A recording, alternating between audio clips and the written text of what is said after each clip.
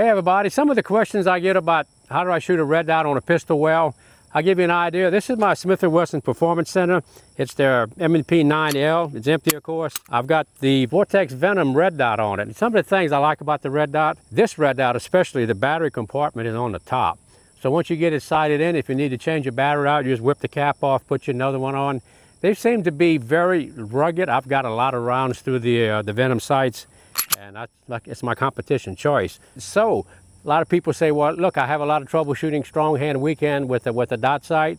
Kind of give you some insights on what do I see when I'm transitioning from target to target or weak hand, strong hand. The big thing I find with most folks, I've got an empty pistol here.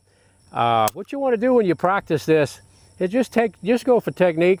Set you up a couple targets, just have, just relax and use vision skills. So if I'm working out of the holster, one thing I try never to do when I shoot a, a red dot sight is to look hard at the target. So what you want to realize, that target zone is 18 inches wide. All I got to do is keep it in the middle of those sticks. I'm going to have a good score. I'm not going to look at that A in the A box. I don't want to have target fixation. I'm have a, what I'm looking for is a really soft focus on the target. So when I'm looking at this target, I'm also, of course, I can see the left target. So just like watching TV, don't stare at any one thing. And when you produce the pistol from the holster or from ready position or whatever the start position is, what you want to realize, I want to see from right here all the way out to the target. So if I'm going to draw the gun out of the holster here, as soon as it becomes available for me to start looking at, I'm going to soft focus and see the front of this pistol. Last thing I want to do is stare at the target and have a gun get in the way. So sounds silly, but a lot of people have target fixation. We don't want that. Soft focus, draw the pistol, I see it coming in. I'm going to start driving it right here. I'm going to start aligning the front of the gun to the target, get it between the sticks. And I'm looking at the end of the muzzle, just like it would be a bayonet. I'm going to stick this target. That's the kind of visual clue I want to have. And without seeing the end of the muzzle, I'm coming into the target kind of blind. And if I come in crooked, then I got to re recorrect. A lot of times you'll touch a round off and have a delta or a Mike. So, as soon as you can see the pistol, the better. I'm driving it right here. I'm coming into the target zone. One thing I never want to do is lead with the back of the pistol. Always lead with the muzzle just a little bit so I can see the front of the muzzle coming into the target zone. I'm, I'm between the sticks. I finished the presentation and now I'm right there in the middle. I can see the dot really good.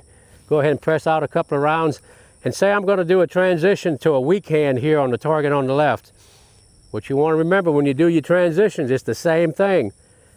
I know where the target is, it's relatively close, I don't have to stare at it, but what I'm looking at is the front of the pistol when I'm doing the transition into my weak hand.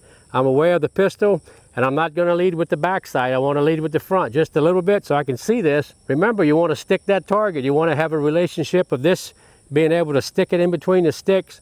So as I'm coming across and I'm going to do a weak hand shot, I'm coming in and I see the front of the muzzle and I make the final extension and I'm right in the center of the target and I can shoot just about as fast as I can get on the trigger.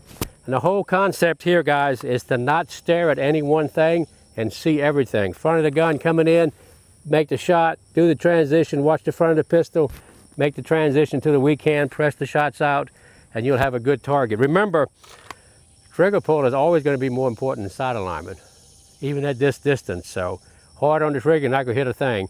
Soft focus is your friend. Pop, pop, going to have a good day. Get some.